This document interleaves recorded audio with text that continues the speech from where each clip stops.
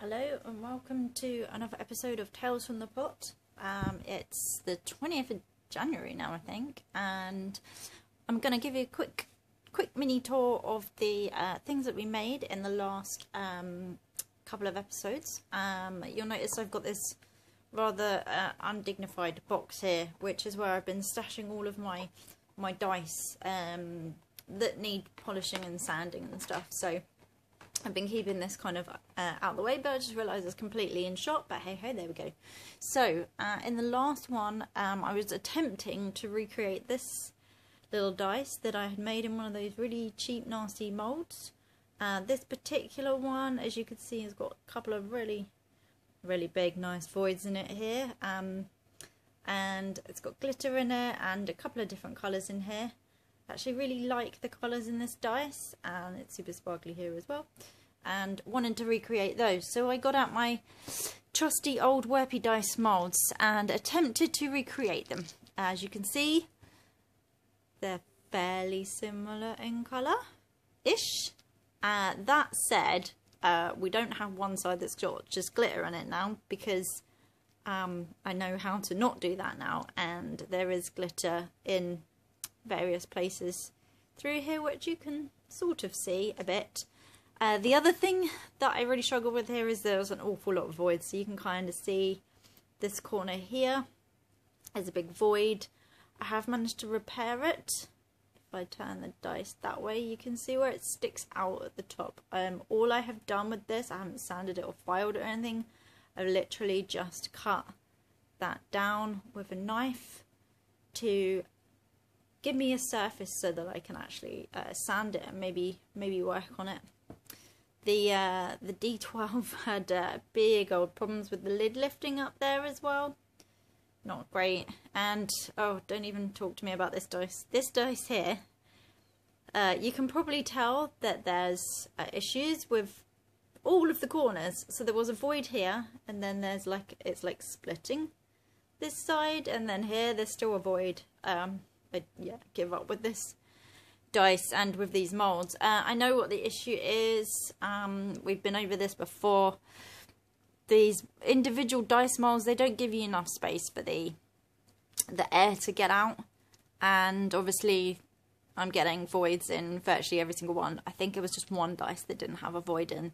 That said, I do really love the feel of these uh, molds. They are internally well made and yeah, they're just a bit disappointing. So we'll still see if we can do something with these. Maybe I can uh, save part of the set. Um, I kind of like what's going on inside some of these dice. Um, but I might just have to put that project there to bed. The other thing that we made uh, that I knew that I was going to get a void in was this. And you could see this from the top of the mould from this way. Uh, as you can see, I've just started sanding this down this is the floral uh, dice that I made. All of the things floated to the top, which you kind of expect, apart from there's like a pampas grass in the middle. I think it's called pampas grass. I'll have to check that. I'm pretty sure it's called pampas grass. Anyway, and these lovely kind of red, reddy orange flowers there that are very out of focus. Um, there is some glitzy stuff in there, just, you know, to give it a bit of depth and I don't know what colour I'm to ink this yet. Maybe like a like a really kind of dark orangey red, similar to how the the red is kind of there. And this has come out pretty nice. I did have to top up the voids, which you now can't see, which I'm pleased about. The other one that I made then, because I had a, a secondary mould without a hole, without something in it, is this one. This one is pink, pale pink and pale blue mica powder swirled together with uh, what else did I put in there? There's some glitter in there, I think, and there's clear resin. It's more like a two-tone kind of effect glitter. Some of that nail powder stuff I can see here. It's not picking it up on the camera, but I can see there's like a greeny colour, but then it's like pink as well at the same time. In there, when we get some pictures of this in sunlight, it's going to look heaps better, but this one uh, is it's really pretty actually and I quite like how it's come out. Again, not really sure what kind of ink it, but there we go. We have also got another Hello Bees set that I've been making. These ones, I think I have done, no, nothing to it all either. These are fairly raw out the mould again. You can see the, the bees pretty much all sank to one side, even though the resin was fairly thick at that point.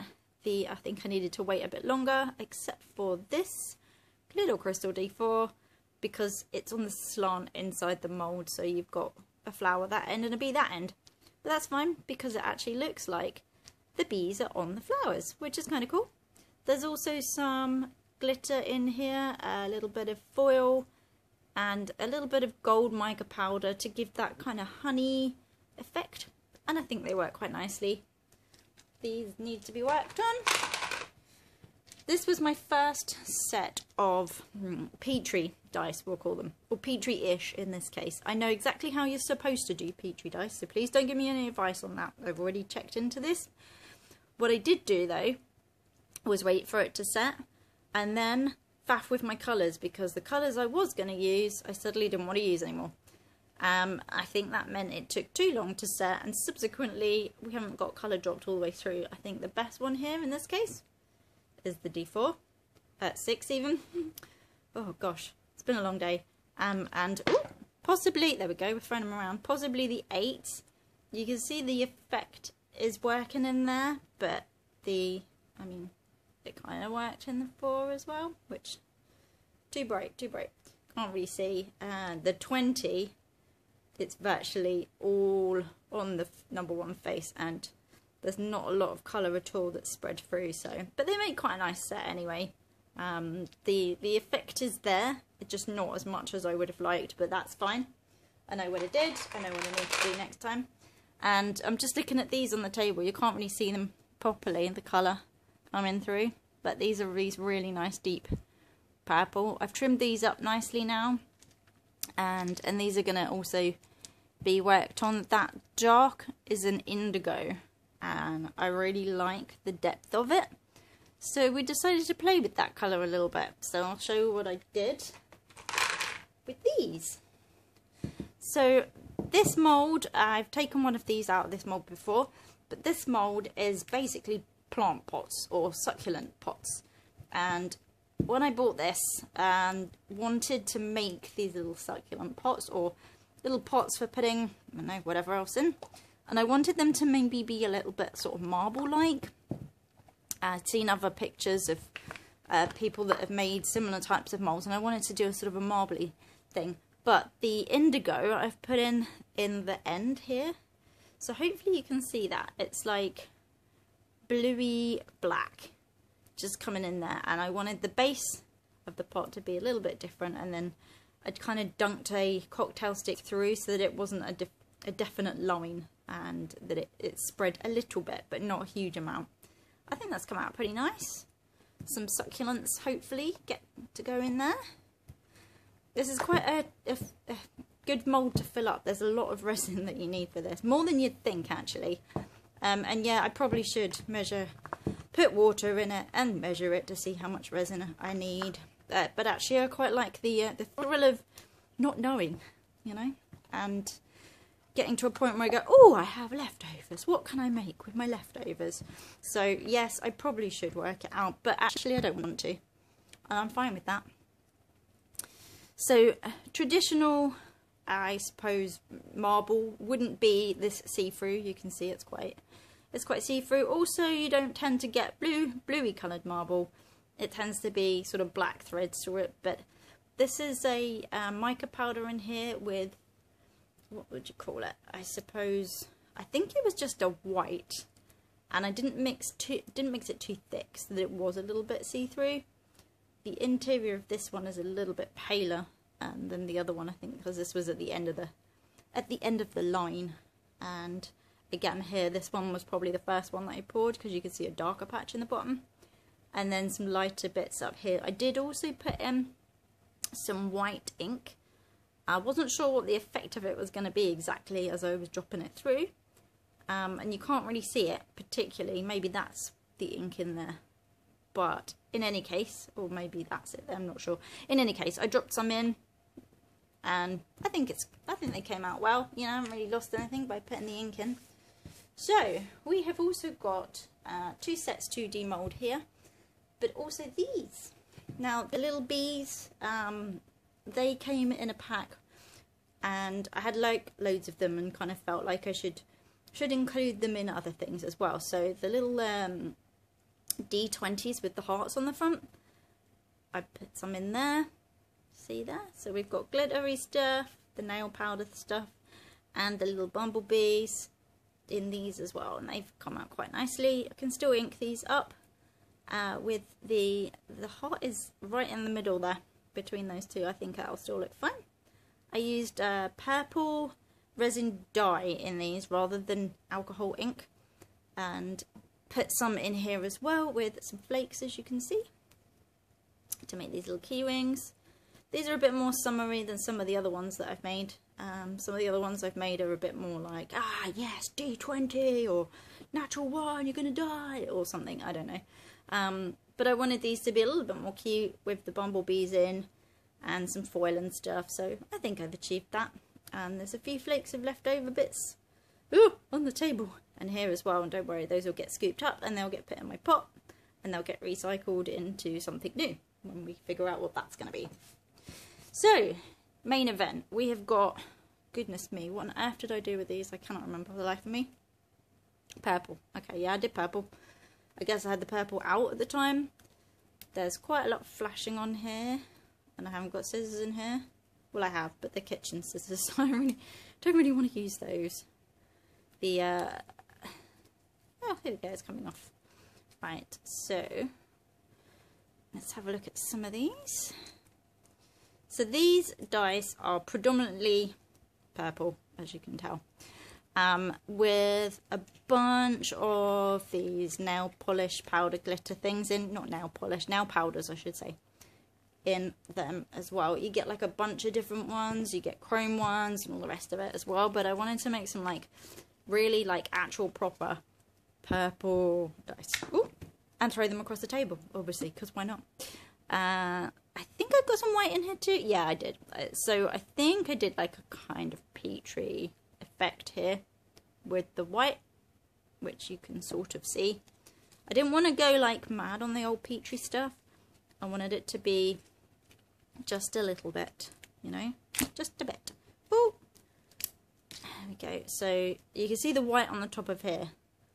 And there is some just just inside that six, you can see around here. I did do my usual thing where I pour clear resin into the bottom because I know the colour will drop and you tend to get this like cool lines and stuff and then I've got glitter where I've put in some sides but not all of the sides as well so some sides are like mega shiny and some sides not so much so we've got this and the I used two coloured nail powders in here one's a pinky green and then the other one was slightly bluey colour. So hopefully, I mean the light doesn't, the light's picking up flipping everything at the moment.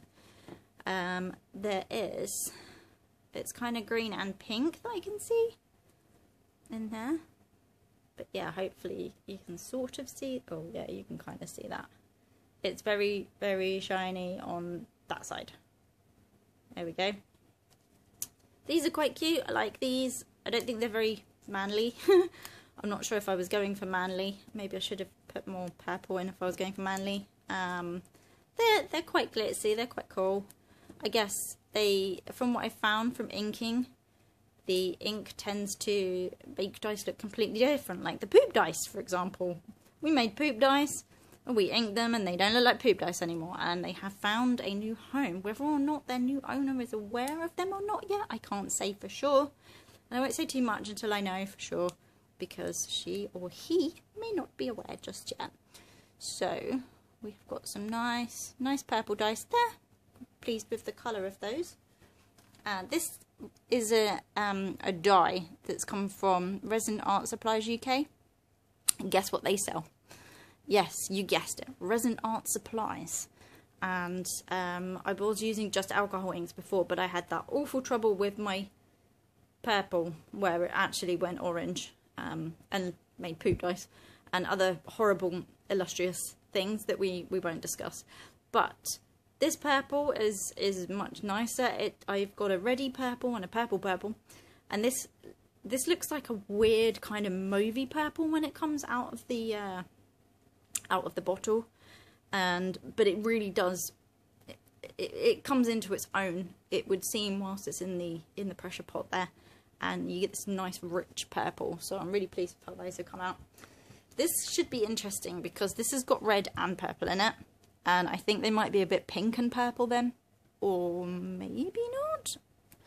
Let's check them out and see. So these ones have got some foils in them. Uh, so I, I stuck some of the foil in to begin with before I started pouring. I knew that it would stick to one side, but also foil has a bit of a tendency to float up and it has a bit of a tendency also to pick up lots and lots of bubbles. So I need to put some in first and then pour some resin in and then I kind of let it sit for a bit and then I pour a bit more resin in and a bit more flakes and stuff, you know, so that you're really getting them nice and soaked. Um, that's not necessarily the way you're supposed to do it. I'm not sure there's an exact way you are supposed to do it. That's the way I do it, and that's working for me fine. So I'm happy with how the uh, the ones are coming out that I'm putting foil in. If I start getting massive voids in them, obviously I would relook at that. But for the most part, um, I haven't had void problems. In fact, I tend not to have void issues in any of these other molds. And when I make my own molds, this is the type of style of mold I will be making. This round type of mold, I have some pipe coupling and some tape and all the bits and pieces that you need. And I've done like heaps of research, probably too much to the point of confusion, I suppose. Um, and I found this really cool videos um, by Garage Quest, and I've been watching Rybonator as well. So we are well up on all the videos. I named but a few. There are a bunch more that I've watched. Please do not send me to watch any more videos on making molds or any more advice on making molds. Honestly, I don't need it. I, I've watched probably virtually everybody I can find on the internet. I should be masterclass at this now. Um, but I'm still polishing up my dice masters um, and I really want to make sure I feel completely confident before I go ahead and make the um, the molds because silicon's actually not all that cheap, especially if you're uh, pouring it into something where you're to hopefully make perfect dice from.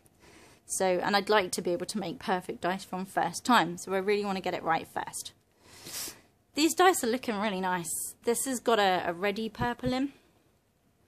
I Don't know how if you, if you can really see that. There's just so much, so much sparkle in here.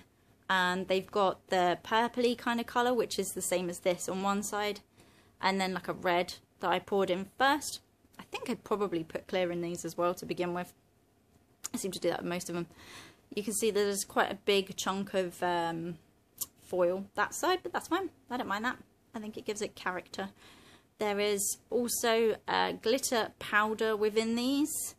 They look kind of like, I guess like jelly. Strawberry and blackcurrant jelly, I want to say. This D4 is so cute. There's some really cool effects going on in here. So that purple is quite deep on one side and then you've got the glitter and then you've got the red and the bits of foil as well. They work really nice and really pretty colours. Really liking how those came out. I really like this particular one. This one's nice deep purpley red where the colours have mixed quite nicely. And the good thing about this set is you get two D20s. And the other one has got more chromy flakes kind of one side and it looks it looks quite different. They are they're from the same set. You can tell they're the same set, but they actually look they look quite different. So I'm quite happy with how these have come out. They look really cool. The red is a nice tone of red. In fact, it looks a little bit orange in some lights, but I'm fine with that. It hasn't mixed in a weird way with the purple, which I'm also pleased about. So we've got a fairly big tub to be cracking on with, as well as these little guys up here. I'm going to get these cleaned up over the course of the next week-ish, maybe two weeks. I have uh, one set of the Hello Bees dice that I've already made and that's already spoken for, so I need to get those sorted because I need to get them shipped off to their new home. But we have uh, plenty more ideas. I need to order some more resin and I need designing my logo as well for my my Etsy shop for when I open that up. So that again, that's uh, something I'm working on. It's slow progress because I haven't just got on and dedicated time to doing it. So the uh, the dice molds that I use, this one is from Craft and Game. They're on Etsy, and this one here, as you can see, um, with the additional um, D20 dice and the extra D4, which comes out of this side. This is from the Druid Dice Shop. They're also on Etsy. The Druid Dice Shop, they're based in the States and they do uh, Zona papers and bits and pieces as well. So if you live in the States, you can definitely get those. It is somewhat cheaper if you live in the States. Uh, Craft and Game are a UK based supplier and the first dice molds I had from them weren't so great, but I used their chonk mold. It's a, it's a double one and I haven't had re any real issues with that. Just the first mold that I had, the D4, had some issues, and the D20 had some sort of collapsing around the 19, 13, and 15 faces. But apart from that, this new mold has been fine. They just took rather a long time because of uh, shipping delays and stuff, I think, to get their uh, their stuff for their molds. This mold feels slightly different. It's slightly squishier to this one, so I'm guessing the types of stuff they use to make these two molds are slightly different. Um, just as this one feels completely different as well. This one's a lot thinner. Uh, it's obviously it's green, and that's not the only reason it feels different. It um it's obviously made of a, a different material, but um I don't you know I don't think it really matters provided that the silicon that you're using uh, is appropriate for what you are using it for. So if you're making dice, if you're using UV resin, if you're using standard resin, you know, if you're putting in a pressure pot, etc., etc., etc. So there's lots of different options out there. The only thing I would say is be careful when you're using resin. You need to use your PPE stuff. You need to be wearing gloves for sanding and polishing, and you need to be wearing your mask stuff when you're using powders and stuff as well. Using a ventilated area, get yourself a proper ventilator mask if you can. And uh, obviously, this is not for children. The number of people that I've seen go, "Oh yeah, my kids have got resin," and I'm like, "Oh my gosh." Really. Uh, it's not really a kid's thing. It's a chemical product. yes, it does react. Yes, it looks lots of fun. Um, but, you know, either should be done with old, slightly older children with lots of supervision and lots of PPE or leave it till the adults. Uh, adults are definitely, well, not necessarily all adults, but I would hope the majority of adults are a lot better equipped to deal with things like this. So, that's my little warnings for you all that said and done, I shall wish you a good evening. Thanks for watching. Feel free to tell your friends, like, if you enjoyed the content, subscribe. And we will see you in the next one.